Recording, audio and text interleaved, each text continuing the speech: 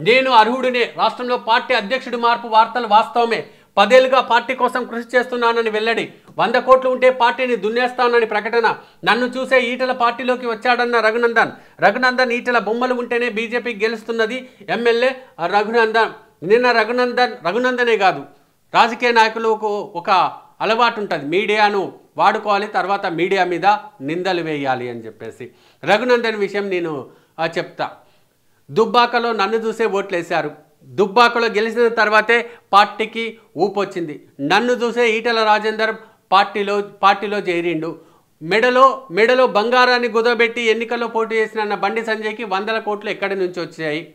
వందల కోట్లు ఎక్కడి నుంచి వచ్చాయి? ఇది బండి సంజయ్ స్వయం కృతాపరాధం. బండి సంజయ్ని మారుస్తున్నది నిజమే. నేను కూడా అధ్యక్షుడిగా అర్హుడినే. మునుగోడులో వంద కోట్లు ఖర్చు పెట్టారు ఓడిపోయారు. ఆ వంద కోట్లు నా దగ్గర ఉంటే నేను దున్నేసేవాన్నే యాడ్స్ పాటిస్తున్న పార్టీ ఇస్తున్న యాడ్స్లో కేంద్ర పార్టీ పెద్దల ఫోటోలు ఉంటే ఓట్లు పడతాయా? నా ఫోటో ఈటెల ఫోటో ఉంటే ఓట్లు పడ ఓట్లు వేస్తారు. ఇవన్నీ మాట్లాడింది ఎవరో కాదు రఘునందనే. మీడియాను పిలుచుకొని చిట్ చాట్ చేసి ఇవన్నీ మాట్లాడి ఇవన్నీ మాట్లాడి ఒక మూడు నాలుగు గంటల పాటు ఛానల్స్లో బ్రేకింగ్ వచ్చాక అప్పుడు సార్ మెల్లగా వచ్చి తుచ్ నేను అవన్నీ ఏమి మాట్లాడలేదు. నా మీద వస్తున్న వార్తలన్నీ తప్పు. అది ఎప్పుడు చెప్పిండంటే బండి సంజయ్ని మారుస్తున్నారని కన్ఫామ్ అయిన తర్వాత సార్ బయటకు వచ్చి చెప్పిండు. ఇవన్నీ జరిగినాయి. ఇంతకంటే ఒక వారం రోజుల క్రితం నుంచి కూడా రఘునందన్ది చర్చ జరుగుతుంది. ఏ రోజు బయటకు వచ్చి ఖండించలేదు. నిన్న కూడా నిజంగా రఘునందన్ అనకపోతే వెంబడి వచ్చి ఖండిస్తాడు. ఆనే ఢిల్లీలో ఉన్నాడు. ఢిల్లీలో ఉన్నాడు.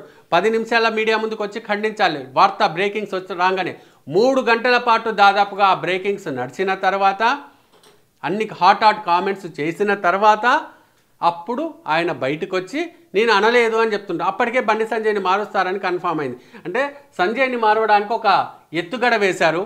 సంజయ్ మీద అవినీతి వంద కోట్ల వందల కోట్లు వసూళ్ళు చేసిండు అని చెప్పేసి నిందలు వేసి నిందలు వేసి పా అధ్యక్షుని మారుస్తున్నారని తెలిసిన తర్వాత ఆ వ్యాఖ్యల్ని ఆ వ్యాఖ్యలు నేను అనలేదని సార్ చెప్తున్నాడు. సో రఘునందన్ నిన్న ఢిల్లీలో మీడియాని పిలిపించుకున్నది వాస్తవం మీడియాతో చిట్చాట్ చేసింది వాస్తవం ఆ బ్రేకింగ్లు పెట్టమని మీడియాకు చెప్పింది వాస్తవం.